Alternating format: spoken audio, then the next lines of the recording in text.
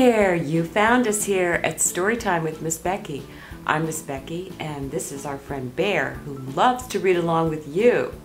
Bear has a question for you. Can you think of something that you are really good at doing? Hmm, many aren't sure yet, Bear. Well, Dylan really likes to draw and think about robots. Let's put on the magic reading glasses and see what will happen when Dylan draws the largest, most magnificent robot ever. Will he come to life? Dylan and His Magical Robot by Sol Regwan. Dylan had the most amazing imagination. He would often show it through his drawings and paintings whenever he got the chance. He especially loved to use colored pencils to color in what he drew. As a matter of fact, every time Dylan created a colored drawing, he would display it by taping it to the wall above his bed. Apart from his passion for drawing, Dylan loved robots. He was fascinated by them. The way they stood, the expression on their faces, as well as the way they were built. He imagined what they would say and do if they could talk and move.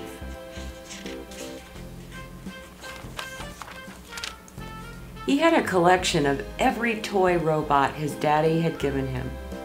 He would display them proudly on top of his toy chest. One night, just before his bedtime, Dylan decided to tape four large pieces of white construction paper together.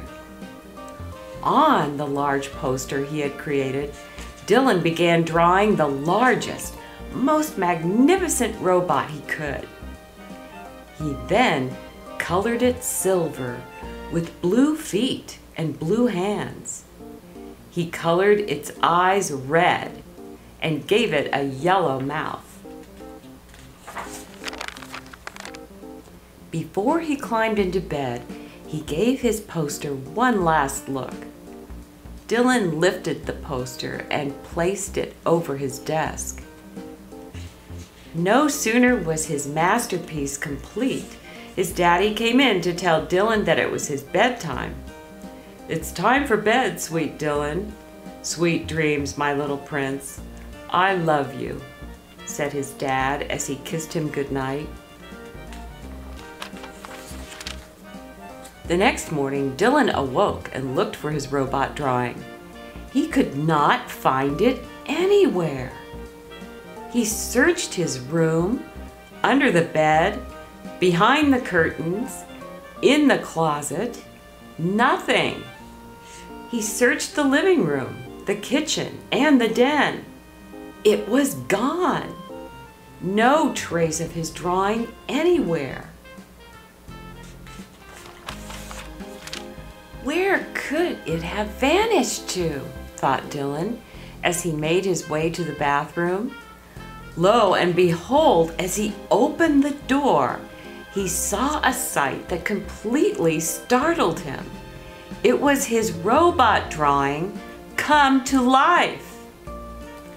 Towering over him, the big silver robot with the red eyes and yellow mouth approached him slowly, saying in a voice that sounded like clink, clack, chink, I am Robbie, your robot and I am here to do whatever you want me to do. Without any hesitation, Dylan took his robot by the hand and led him outside to his backyard.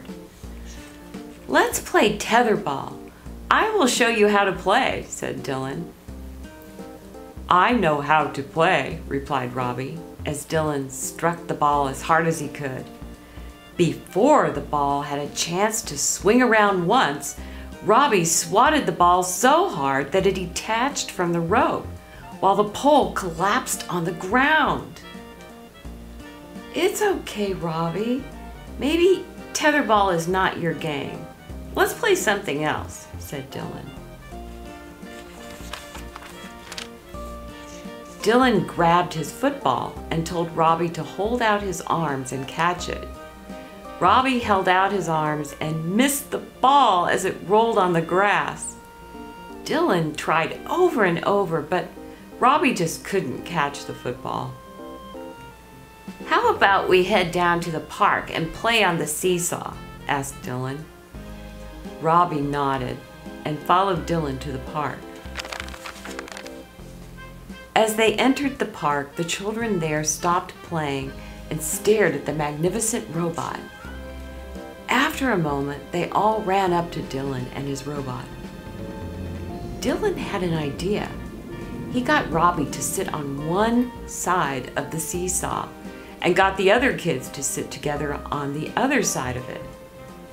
One little problem Robbie was too heavy at his end, and the kids at the other end were suspended in the air. Get us down, shouted the kids. Get off the seesaw. But as Robbie got off, the children tumbled and fell off the seesaw. Dylan felt embarrassed and took his robot home. As they were walking back, Dylan asked Robbie, Is there anything you can do without breaking something? Robbie kept silent and went home with Dylan with his head held low. He was sad that the day had turned into a disaster with his best friend. Dylan picked up his colored pencils and construction paper and began doodling. He drew different shapes and patterns and colored them in while Robbie watched.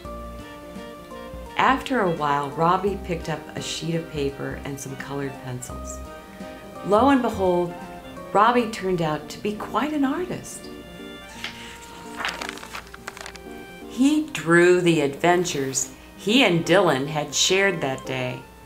He drew them playing tetherball, he drew them playing football together and he drew their adventure in the park. Looking at Robbie's amazing drawings, Dylan was extremely impressed.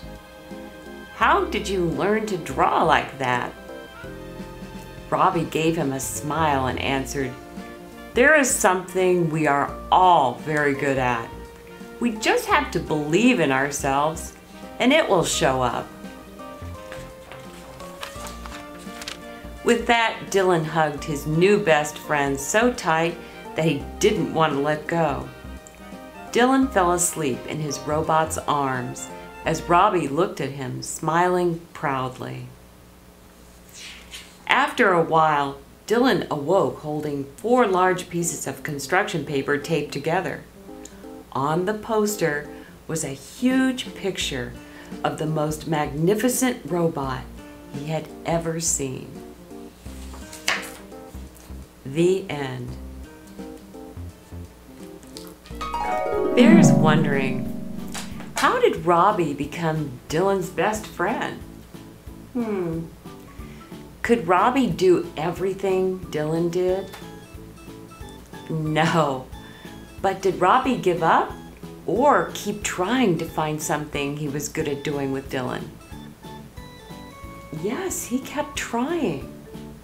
Bear's asking, if best friends try to help each other be magnificent? A lot of yeses. Do you think Dylan will keep trying too? Well, Bear hopes you come back soon for more adventures in believing in yourself. Bye for now. Please subscribe.